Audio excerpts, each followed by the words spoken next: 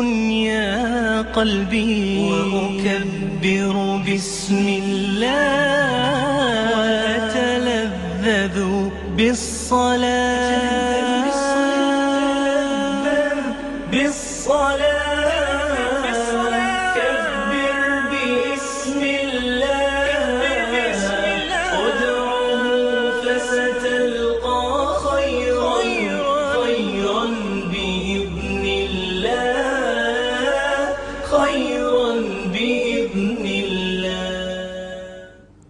بسم الله الرحمن الرحيم. الحمد لله رب العالمين. وصلى الله وسلم وبارك على عبده ورسوله محمد وعلى آله وصحبه أجمعين. تذكرون عندما تكلمنا في الفاتحة أن الله تعالى قد أثنى على نفسه لربوبيته على العالمين عندما ابتدأها وأشار إلى أن ربوبيته ربوبية رحمة. عندما قال بعد الحمد لله رب العالمين قال الرحمن الرحيم. وجعلها تسبق مالك يوم الدين كما أن رحمته سبقت غضبه. سبحانه جل في علاه. ثم أعطاك الله المفتاح الذي الذي تنجو به من ذلك اليوم وهو إخلاص العبادة له وحده. عندما تقول إياك نعبد إياك نستعين أخلصت.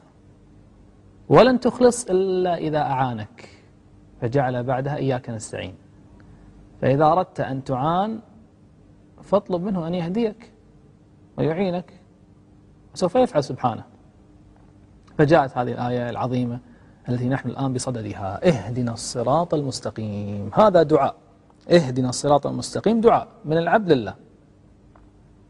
يقول شيخ سام تيمية ولهذا كان أنفع الدعاء وأعظمه وأحكمه دعاء الفاتحة.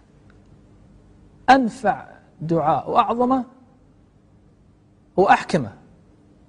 اهدنا الصراط المستقيم. أي صراط؟ صراط الذين أنعمت عليهم غير المغضوب عليهم ولا الضالين.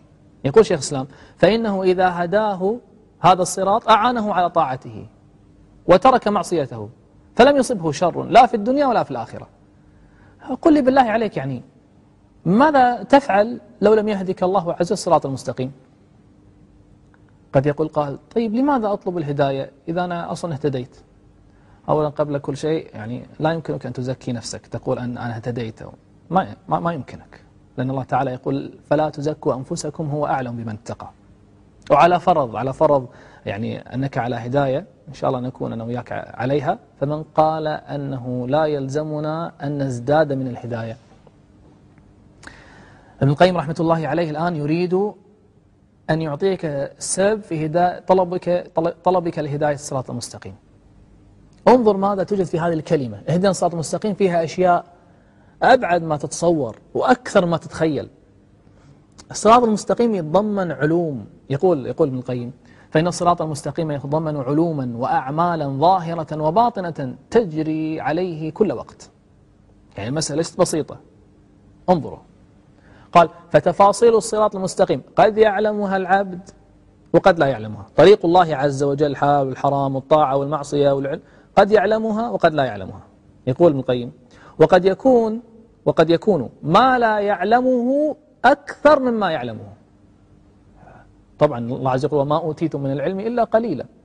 ف تفاصيل الصراط قد تعلمها وقد لا تعلمها. والذي لا تعلمه قد يكون أكثر ما تعلمه. فيقول اهدنا الصراط المستقيم. لماذا؟ ليزيد علمه. طيب حتى هذا الجزء الذي تعلمه اللي هو أقل قد تقدر عليه وقد لا تقدر عليه. يعني أنت تعلم الحج واجب لكن تستطيع الحج؟ بعض الناس يستطيع بعض الناس ما يستطيع. تعلم فضل الصيام لكن قد تستطيع الصيام وقد لا تستطيع. ربما ليس عنده مال ليتصدق. إذا لماذا أهدنا الصراط المستقيم؟ أعلم ولكن لأجل أن أقدر. هذه مسألة أخرى. وحتى الذي تعلمه وتقدر عليه من العبادات قد تريدها نفسك وقد لا تريدها نفسك. تقدر لكن قد يصيب إنسان كسل. تقدر المرأة أن تقوم لصلاة الفجر في الوقت لكن نفسها لا تشتهي فتتثاقل فتصلي بعد طلوع الشمس. يقدر الرجل أن يذهب إلى المسجد لكنه لا يذهب إلى المسجد. تتثاقل نفسه فلا يذهب. لهذا ماذا يقول في الصلاة؟ اهدنا الصراط المستقيم. حتى نفسي تطاوعني. كي أريد العبادة حتى وإن كنت أقدر عليها. طيب. فإن كان أيضا نفسه تطاوعه حتى لو فعلها العبادة قد يأتي بالإخلاص وقد لا يأتي بالإخلاص. كأن يرائي مثلا. فنقول اهدنا الصراط المستقيم لنخلص.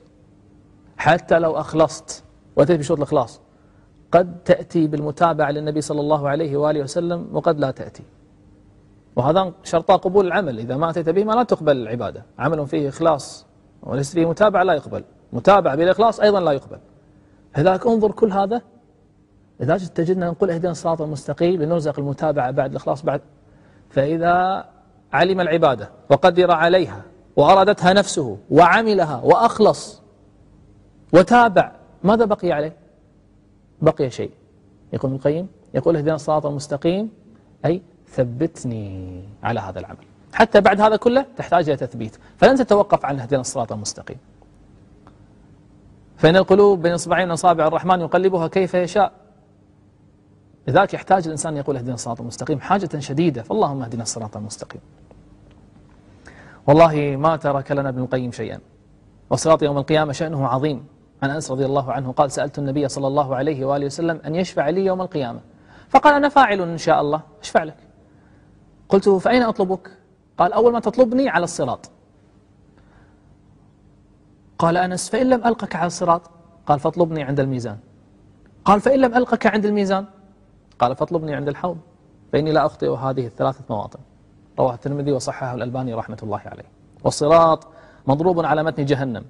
قال رسول الله صلى الله عليه وآله وسلم عند حفصة لا يدخل النار إن شاء الله من أصحاب الشجرة أحد الذين بايعوا تحتها بيع الشجرة. فقالت حفصة بلى يا رسول الله يعني يدخلون النار. فانتهرها النبي عليه الصلاة والسلام يعني زجرها. فقالت حفصة وإن منكم إلا واردها يعني تستدل في هذه الآية. فقال النبي عليه الصلاة والسلام وقد قال الله تعالى ثم ننجي الذين اتقوا ونذر الظالمين فيها جثيا. حديث رواه مسلم. وهذا الصراط له صفة أنه دحض مزلة يعني يزحلق الأقدام. إذا وقفت عليه القدم قد تزحلق الإنسان. صفة صعبة كيف نمر عليه؟ بحسب النور.